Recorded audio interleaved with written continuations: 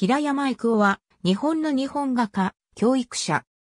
以下は、十三味。訓東は、文化勲章。東京芸術大学名誉教授、文化功労者。東京芸術大学美術学部教授、東京芸術大学美術学部学部長、東京芸術大学学長、財団法人文化財保護振興財団理事長、日本育英会会長、財団法人日本美術院理事長、東京国立博物館特任館長などを歴任した。広島県出身の日本画家、教育者である。日本美術院理事長、一橋総合財団理事、第6代、第8代東京芸術大学学長などを務めた。文化功労者として検証され、後に文化勲章を受章した。広島県名誉県民、広島市名誉市民、鎌倉市名誉市民などの称号を授与されている。2009年12月2日死去。1930年6月15日、広島県豊田郡瀬戸田町生まれ、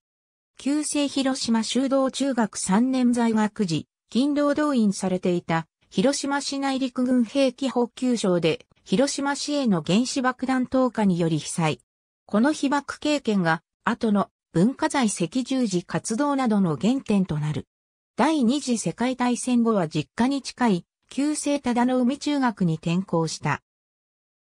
ここでは高橋玄陽と同級生となっている。卒業後、大王子の清水南山の強い勧めもあり、東京美術学校に入学。前田清村に指示する。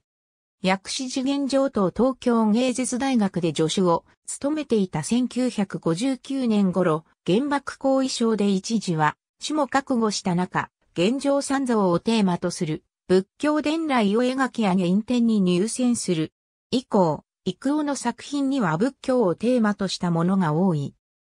仏教のテーマはやがて古代インドに発生した仏教をアジアの果ての島国にまで伝えた仏教当然の道と文化の西と東を結んだシルクロードへの同型につながっていった。その後、イクオはイタリアやフランスなどヨーロッパ諸国も訪ねている。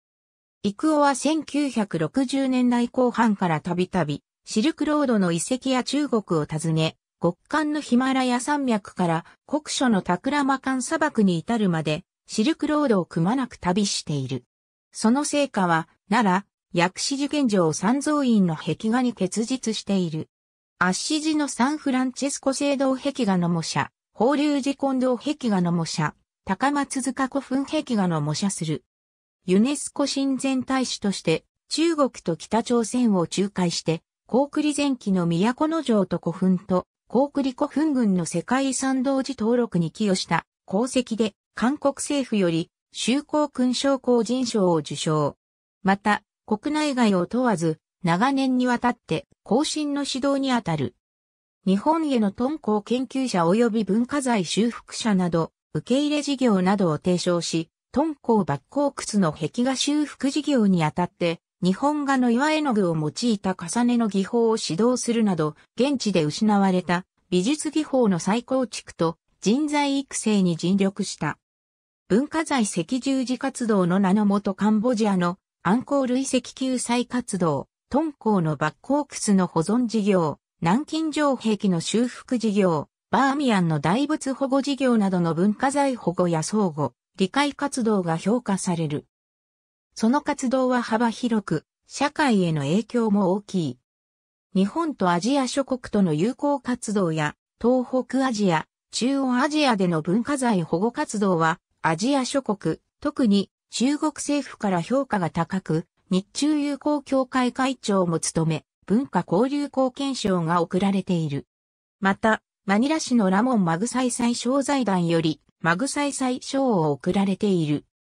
一方、文化大革命や都市開発により中国人自身の手によって破壊された中国の歴史的建造物を戦時中に日本軍が破壊したとして日本人から寄付金を募って中国の文化財の復元事業に充てたとして批判も受けている。